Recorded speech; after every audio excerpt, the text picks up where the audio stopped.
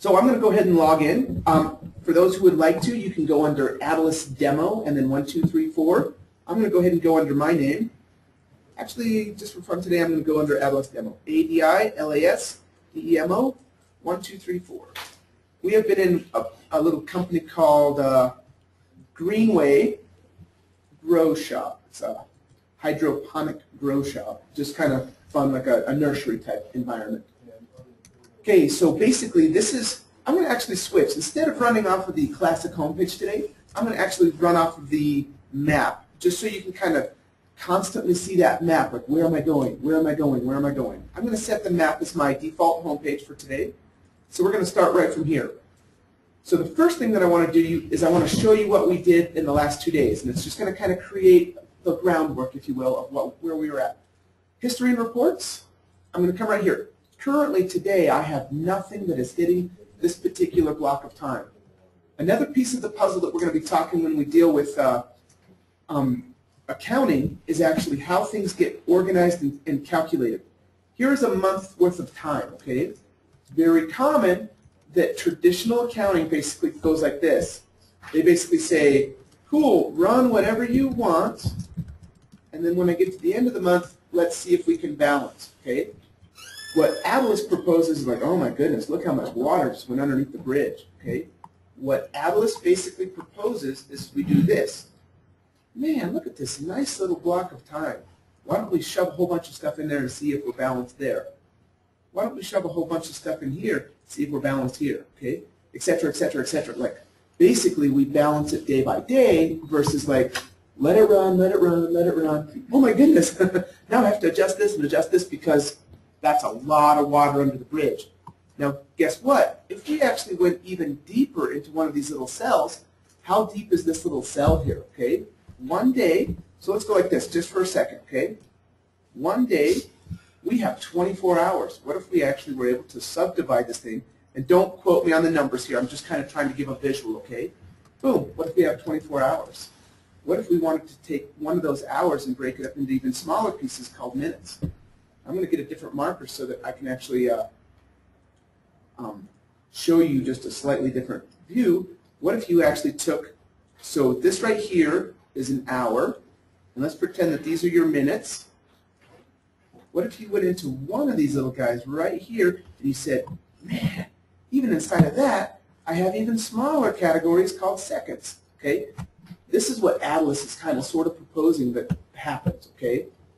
Now what happens if you're clear down at the second level, you may not be in balance, okay? Things might be going like this all over the place. But as you pull back further and further and further, basically this line is all random and all over the place. It slowly starts kind of calming down, and eventually as you get it further and further out, it actually looks completely level. It depends on how deep you are into that, okay? So as things happen, like ideally, people like to have things balanced immediately. Like it's called double entry accounting, so you make sure you have everything. Well, inside of Adilas, as you do an action, it may not fully be balanced yet, okay? So technically, we just did this. Oh my goodness, we're totally out of balance. Okay, we kind of brought it back in. Oh, we're totally out of balance for a second. We, we brought it back in. Like We allow that flex to happen because this is naturally what happens as you do an action, okay? And so uh, I know I'm kind of drawing all over the screen, but hopefully it'll kind of help you get an idea of kind of where we're headed. The other piece of the puzzle that I want to kind of show you, um, just so that we can have a small little visual of it, is, is when we first started doing some of our different accounting type things, we were kind of in a small little uh, methodology of something similar to this. This is what we wanted. Let's say that operations is on the top, and so operations is here, and accounting is here. So in an ideal world, we want it completely level, flat, straight, so we have everything we want, correct? Well, what ends up happening is we see that oftentimes we need to kind of allow some flex, and then we need to come back into the puzzle. When we first started, this was actually Steve tell, teaching me. So I'm going to kind of brag on Steve for just a quick second. So as a programmer, if you're trying to make everything balance exactly, exactly, exactly, can you imagine the pressure that you would possibly have? I, will tell you right now, you don't want it. okay? You don't want it. Alrighty? we have a new folk that just joined us. What's Hi. your name, bud? I'm Yuri. What's Yuri? Yeah. Awesome. Well, welcome, welcome. Um, there's a bunch of different folks here, and, and as we get into our breaks, feel free to mingle with them, but feel free to comment and, and chime in. We're just kind of starting into some of the accounting type stuff, all right? That sounds good. Awesome. Welcome, welcome. So what happened was is Steve and I were talking, and I was like, Steve, I can't make this balance. I can't make this balance because all of the pieces potentially weren't there. And he's kind of like this. So Brandon, it kind of goes like this, okay? Your operations is still on the top, but at times it needs to kind of flex, and you may not know exactly what's going on, and then eventually it'll come back together. And so I really appreciated him saying that because, like, basically what happens is, is things do need to kind of flex in a real in a real life scenario. Okay? So in a static environment, how many of you guys know the difference between, say, like static versus dynamic? Liz, can you explain the difference right there? What's what's static? Non-changing. Non-changing, controlled. Okay, great, great. Awesome. What would be dynamic? Something that is unpredictable and changeable, has the ability to. I, I loved how you said unpredictable and changeable and possibly variables and et cetera, et cetera, okay? So basically what ends up happening in real life is often things happen. So let's give you a small little example, okay? So right here, as things expand and contract, I'm going to switch to a different marker so I can kind of play with it. Let's say that a person brings you a new order, okay? So technically that should be entered in as a PO, correct? Which technically would alter inventory, which would alter accounts payable. Well, what if the guy is standing right there and says, I need the check right this second, okay? You don't have the PO in, you don't have anything, but he needs the check right now. Guess what happens? Operations says, I look in the box, I write the check, and then I go back later and I fix it so it happens, okay? So that's real life type scenarios. In a scenario right here, you'd be like, I'm sorry, sir, you're going to have to wait until I get all of this information entered, and et cetera, et cetera, okay? Like, it happens constantly, constantly, constantly. Watch this. What happens if something happens like this?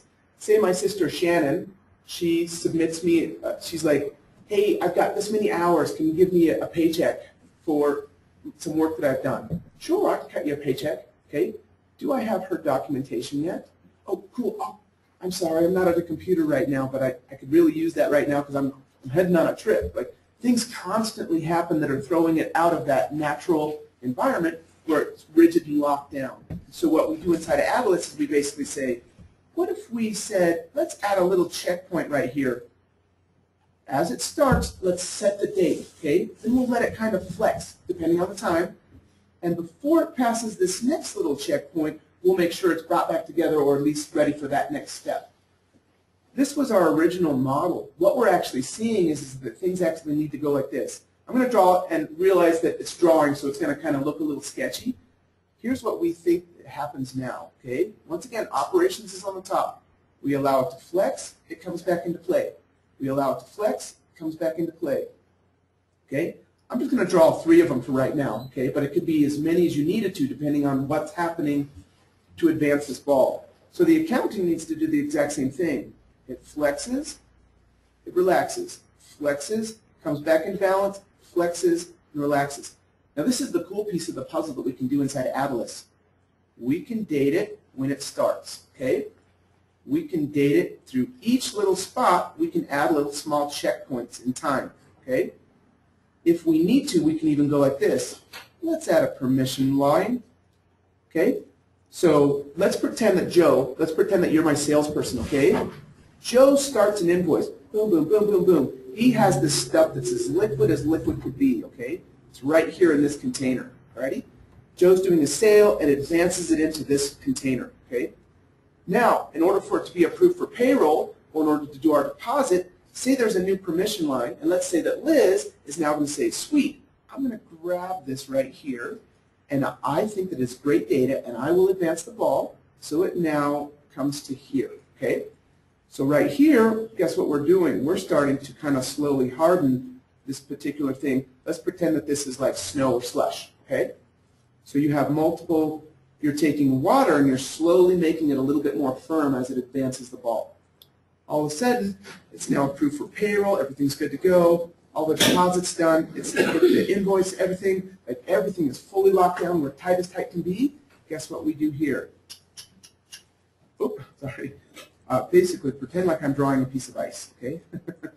you have ice that basically takes your water droplets and you eventually form them into ice. I promise I can draw better than this. This is hard to do right here with a little, little marker. This is what happens inside of Adilas every single time, okay?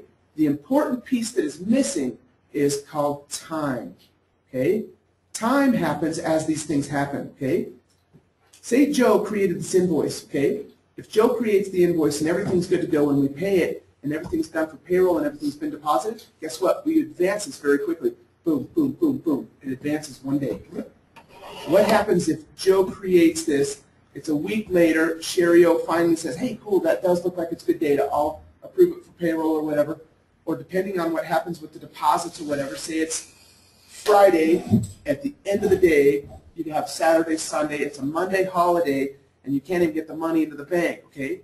Well, technically, it's kind of hanging out for a little bit. It doesn't advance through all of those different things. It's time that actually happens, and so that's how we kind of slowly do the pieces of the puzzle. Awesome. Okay, I, I can tell I've kind of just been talking and rambling and rambling.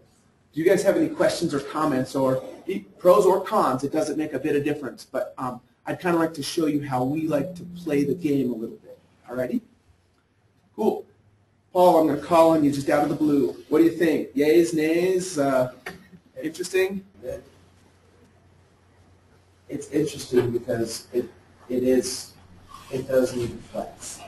It, it There's does. Something, there's something sitting there, having units of time to know when it, when it was made, when it got deposited, when it came through, when it, that's, it's not just a straight line, and everyone thinks that it's just straight, but it's not. It has to flex and give and take, so. Okay, great, great, and it, it does, and we're going to kind of show you that. And some people are, like, oh no, that means that I'm potentially out of their perfect little norm or locked-in environment. That environment can only exist when the wind is not blowing and no one is calling on the phone, and you know, et cetera, et cetera. Like that is what we call a static environment. And so, in modern days, in modern times and technologies, things happen and it flows and it's fun. Okay, cool. So I'm here at the history homepage, and I was basically showing you that we have nothing for this particular date. Let's just back it up one more date. Actually, watch this. Instead of me even doing show hide search criteria, what happened yesterday? Click. Okay, yesterday, wow, we had a whole bunch of stuff that ended up happening. Okay, this is very important. These are specific dates or date-related pieces that were shoved into this virtual little piece of time. Actually, it was yesterday's date right here. Okay. Today, there's nothing currently, but yesterday, a ton of stuff happened. So if we looked at this, we can actually say, wow, what did this do? What happened? And so what I wanted to show you is this is just some basic data, and I'm not even really worried about it. I just wanted to show you we shoved some stuff into there. You can see that right now it's saying for 1023, this is what was going on.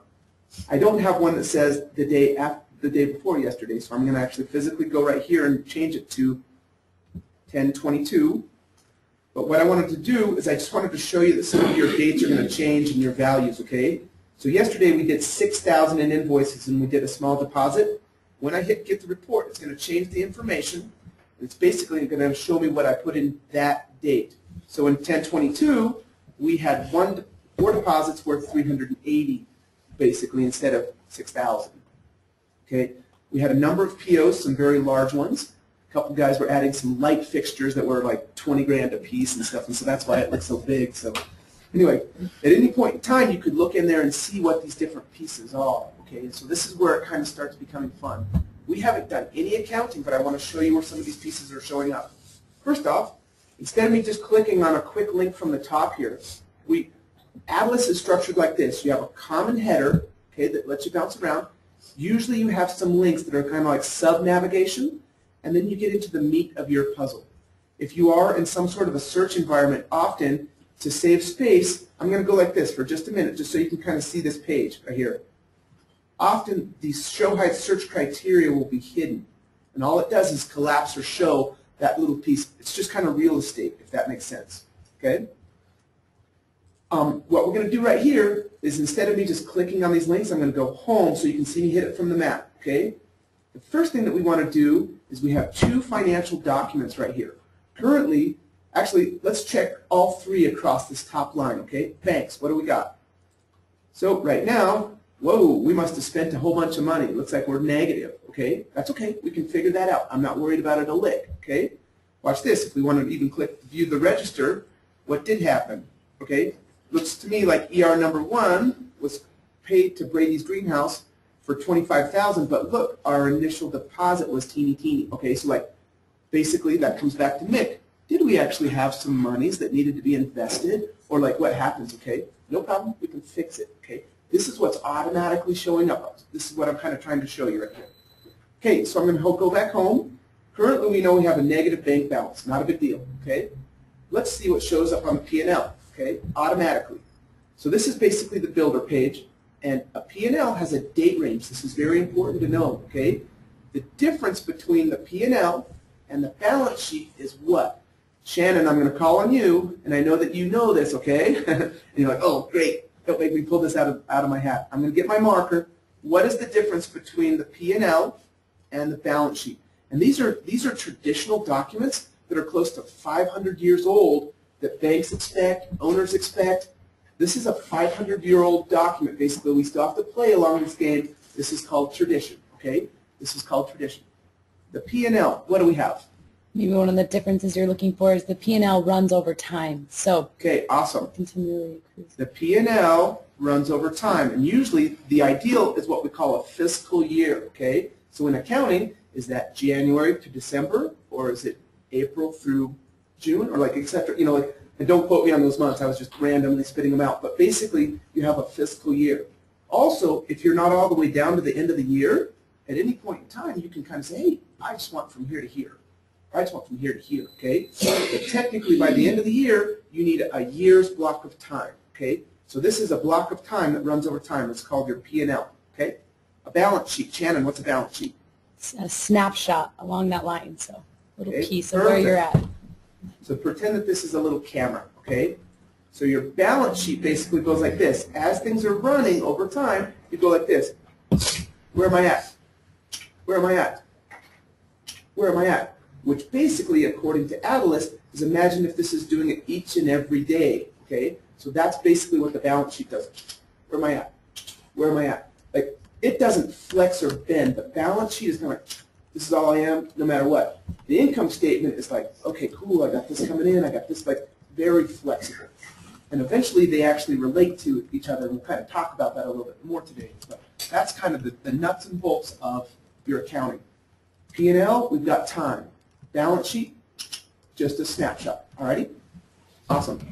Okay, so what, what we were doing basically before I started drawing all over, and I'm going to do that probably tons, so we went to the P&L, and this is what prompted me to even modify and tell you this, okay? So my fiscal year, according to my settings, was set from January 1, and it pulled in today's date, so it's automatically going to put that little date range in there. There's a ton of different pieces that you can play. Most times, for most businesses, I would recommend that you leave all the settings as is, and you go right down here to this one called report type, okay? Now your report type, this gives you basically four different views, and I'm just going to show you quickly the difference between them. If I say get the numbers, this is my small version. This is the quick and dirty. I'm currently, it's saying that after everything is said and done, I'm making three grand. That's because I don't have any of my expenses in there okay? But basically, you have three main pieces that kind of create, if you will, your P&L. And this is the best way to kind of show them. First off, you have revenue. And Mrs. Sherry O, can I have you define revenue for just a second? What is revenue? Revenue is your incoming money from your inventory sold or your services sold. Um, It's monies coming in, it's monies that you claim. right. Okay, so what happens, let me ask you this, and this is kind of a trick question. Okay, you have an investment of 10 grand that goes into your company. Is that revenue? Well, no, it's, It actually goes on the balance sheet. it goes on your balance sheet, but Okay. it's, it's money coming in, but it's balance sheet. It is, but you would not record it here. Basically, revenue, what are you going to be taxed on in a way? Okay, maybe that's a better way to possibly say it, alrighty? Revenue is some, and maybe we should actually say, Mick, what is revenue? Let's actually ask a pro. Um, it's, um, the transfer of goods at a marked up price, or goods or services, uh, and it's obviously the core part of your business. Awesome. Think invoices, think stuff like that. That's often what we, what flows into your revenue. Perfect, okay? The other piece that actually happens is a thing called COGS. Who can tell me what COGS is? Liz, can I call on you? It looks like you had, it. you were like, yeah, like, I know what COGS is. Cost of goods sold. Cost of goods sold, that's correct. Hello, how's it going? Good, good morning. Okay, so guess what? Where does cost of goods sold come from? Watch this right here. Let's pretend that we have an invoice, okay? Here's our main information. We got a whole bunch of little pieces of the puzzle up here in our main. Down here we have some line items. And eventually we might have some payments, okay? So let's pretend main, line items, and payments. Where does cost of goods come from? Cost of goods comes from what you paid. Okay, watch this. It does, basically what cost of goods, I'm going to get a different marker. This, I think it'll help just to kind of show you. Cost of goods comes usually from the cost of your invoice line items, okay? And this is in general, like I'm, I'm speaking very generally. You can actually have an expense where you're like, this whole thing, I want all of this freight to automatically go to this portion of the income statement, alrighty? But usually it comes from your invoice line items and what's going on. Where does your revenue come from? Does it actually come from the invoice line items or does it come from the main invoice amount? This is a trick question, okay? The payment. Actually, watch this. It does not come from the payment necessarily, okay? If you sell an invoice, even if you haven't got paid yet, you've claimed it. Guess what?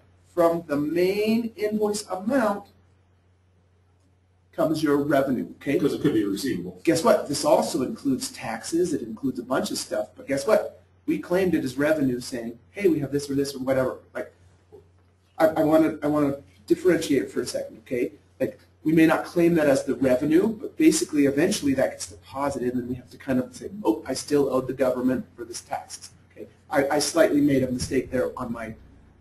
Basically, what we do is it kind of comes from here, but it also kind of comes from the extended cost without the tax. Let me put it that way, okay? That's where your revenue kind of comes from. So forget that. Sorry, my bad.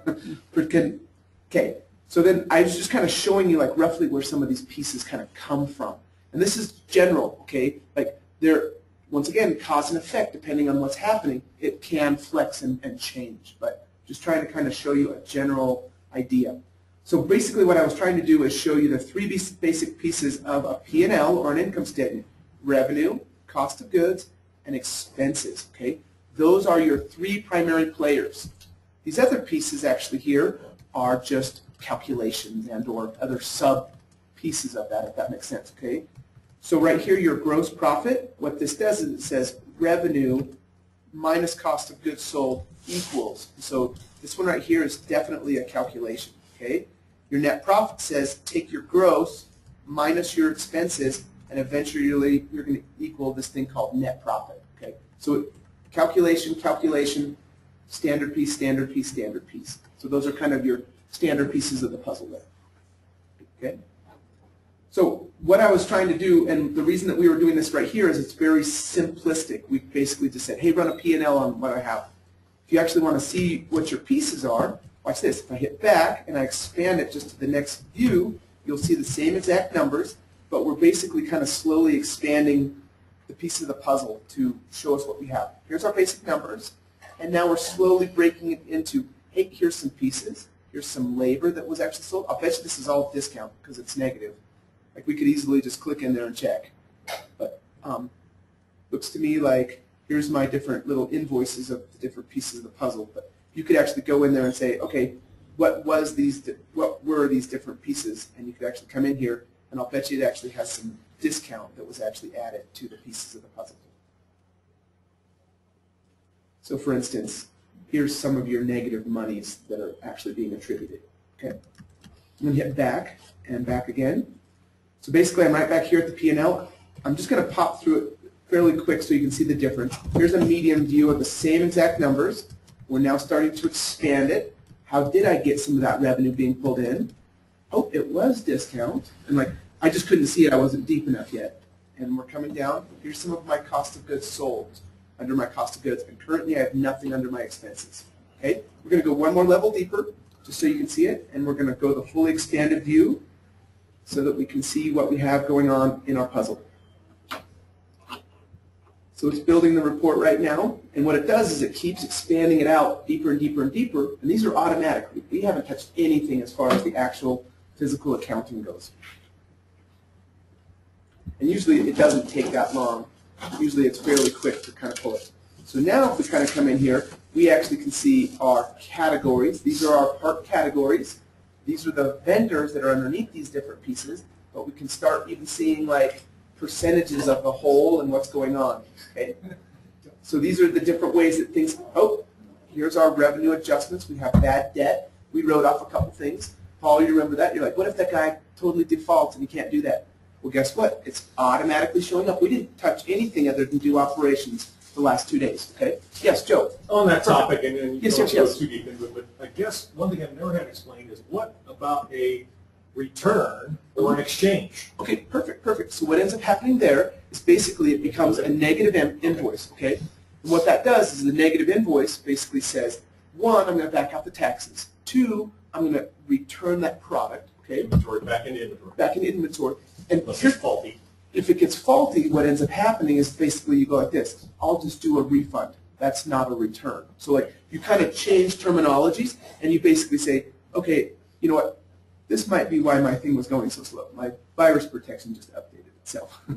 but anyway, what happens there is you kind of have to figure out, is it broken? Can I use it again? And all, all of a sudden you have three choices in front of you. So there's not a blanket statement I can give you. Oh, I'm going to return that into inventory? No problem.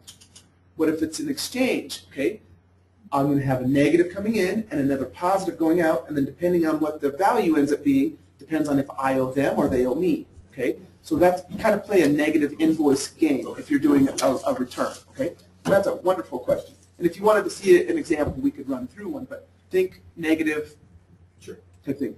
If it's totally faulty, faulty product, like So you didn't put the seeds in the flats, well then you can correct it, put it back into inventory. correct, correct. Sell another. Correct, yeah, yeah, piece of cake. So what you have to do there, when you're selling things, it's pretty straightforward. I'm going to take item A, I'm going to scan it or search for it or whatever, put it in the cart, sell it out the door, get a payment for it. End of story.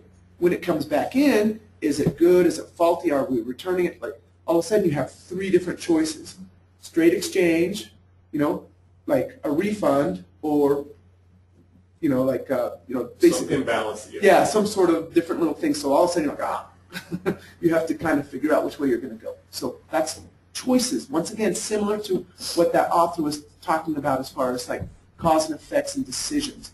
And then all of a sudden that affects what your accounting is, okay? Um, basically, we, we often say this, the put the horse in front of the cart, okay? So make your decision, do your action, and then we need to follow that in the accounting. Instead of saying, do all your accounting and let your horse be doing whatever he Don Will wants, okay? We don't want to play that okay? Um, anyway, I just wanted to show you as it gets expanded out, your P&L automatically will start getting deeper and deeper and deeper, okay?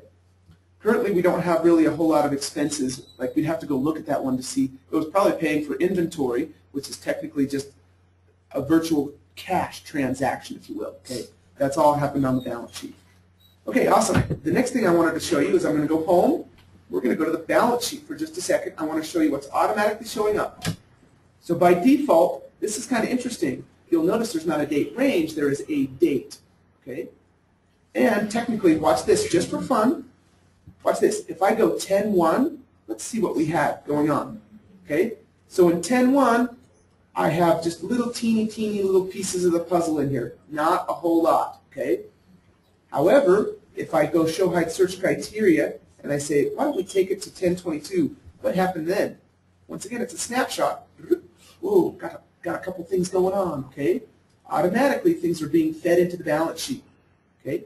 If I change it to the next day, 1023, our values are going to change considerably. Oh, we did that negative invoice, okay? Like, things are going to automatically start showing up, okay? But you have to, have to, have to think this type of a level when you're dealing with balance sheet. Kind of pumping along in that level. Ready? Awesome. So we have kind of briefly just shown you a few of the natural pieces. We need to introduce a few pieces to kind of get some of these pieces to continue to flow.